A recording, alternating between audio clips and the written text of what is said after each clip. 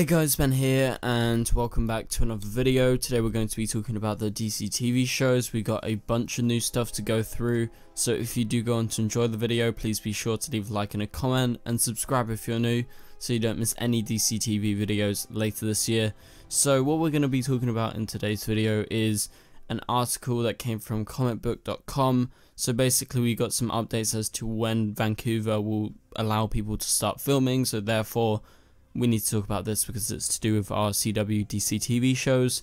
Also, we've got a statement from the showrunner of Batwoman as to what they're doing with, you know, Kate Kane because Kate Kane is not being recast. They are making a brand new character to be Batwoman, so we're going to be going over that. Also, some of you guys have sent in a few questions as in regards to what happened to Ralph Dibny the other day, aka, you know, Hartley Sawyer was fired from The Flash we've got some questions and I'm going to answer some of those. Okay, so without further ado, let's go ahead and get right into this. First things first, I want to talk about the Batwoman stuff because I think this is quite important. This has been making rounds on social media today, so this is a note from Caroline Dries and it's on behalf of the whole Bat team, the whole Batwoman team who work behind the show, behind the scenes, and so this is what it says As a lesbian who's been working as a writer for the past 15 years, I'm well aware of the burying your gays trope, and I have no interest in participating in it.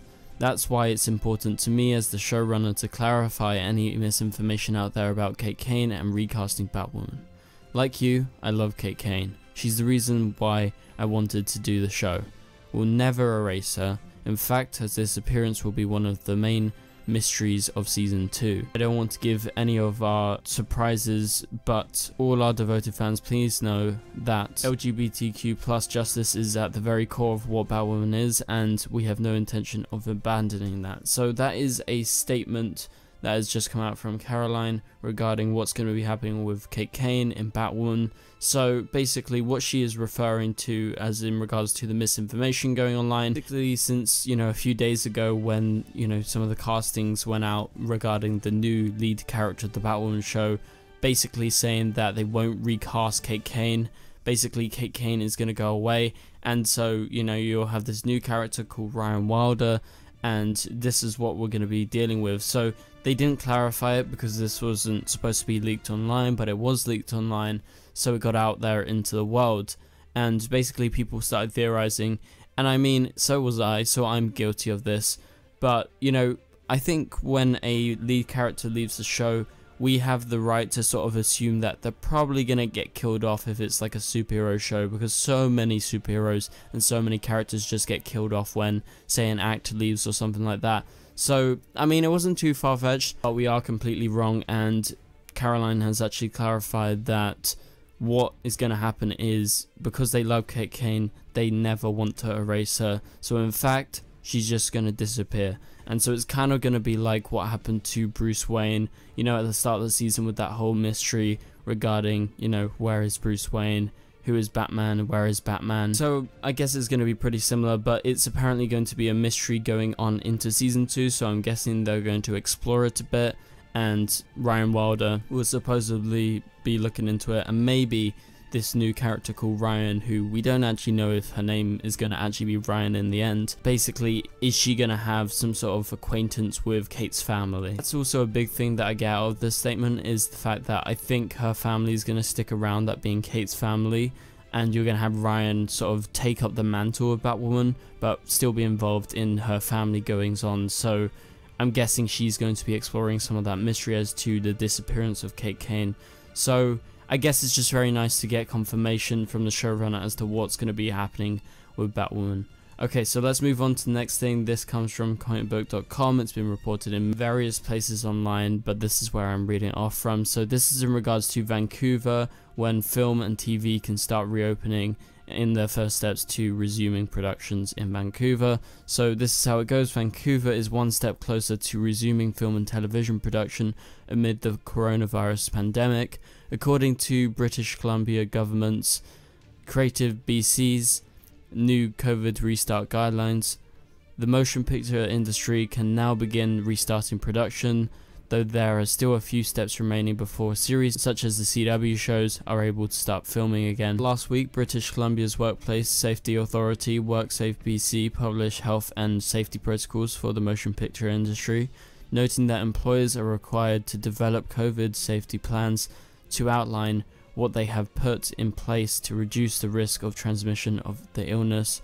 And so this is in quotes employers are required to develop a COVID 19 safety plan that outlines policies, guidelines, and procedures they have put in place to reduce the risk of COVID 19 transmission, as the guideline reads. This is again from the guideline. This plan follows the six steps outlined on COVID 19 and returning to safe operation. Employers must involve frontline workers, joint health and safety committees, and supervisors in identifying protocols for their workplace. Okay, so the big thing here is actually in the next part of the article because the borders between the United States and Canada are currently closed and they're going to be closed until at least June 21st and that closure extends to June 30th to try and get into Canada from other countries.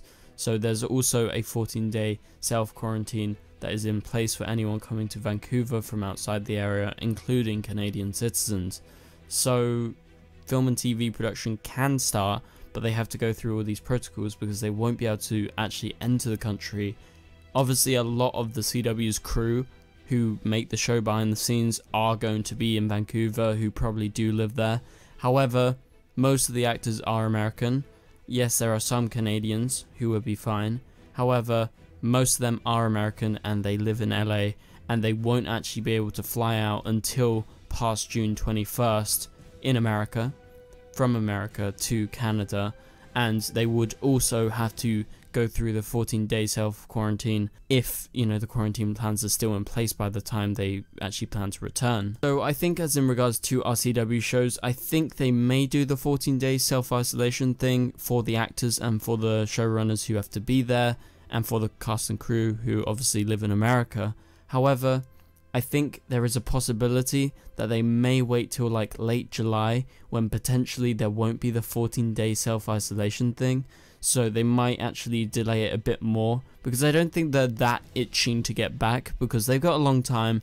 Their shows are going to be premiering in January. They've given themselves time. So I don't think it's like the CW is like desperate to go back to film right now. I think they can wait like a month longer, you know, at the end of July or something, and maybe they won't have to do that 14 day self isolation.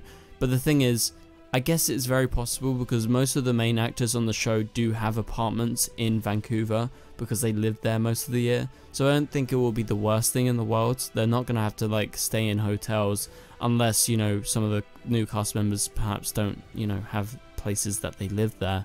But for the main cast members like Grant, Candice, Danielle, Carlos, Tom, like I really think it would be fine for them to do the isolation thing because they have their own apartments there and their own houses and stuff like that. So, you know, I think it's a toss up if how desperate the CW gets to want to start filming.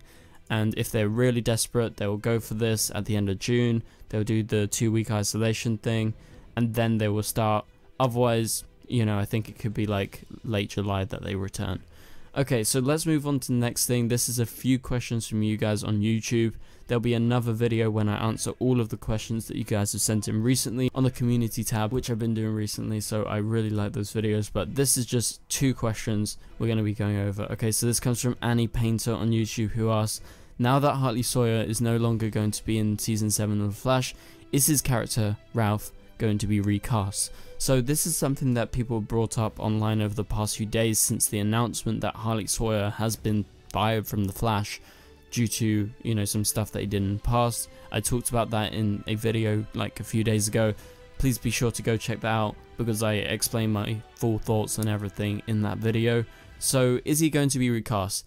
Obviously there is a possibility because, you know, the elongated man's powers are he can shapeshift, he can change his appearance.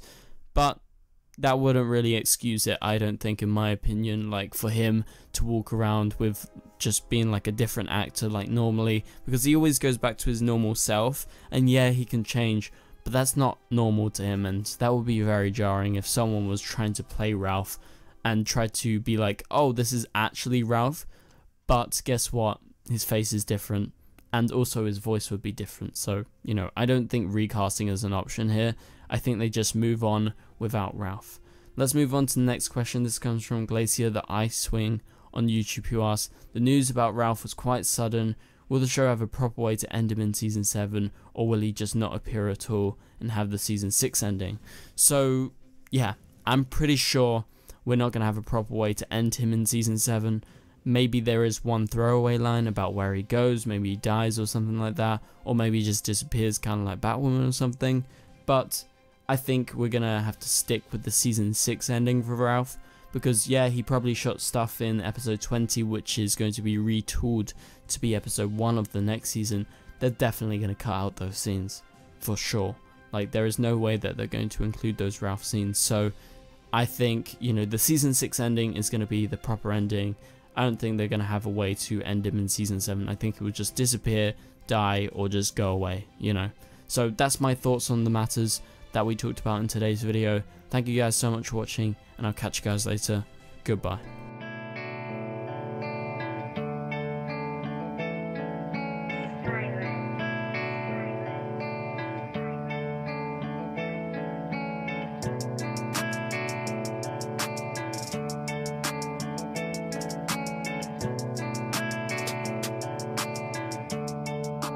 I see red.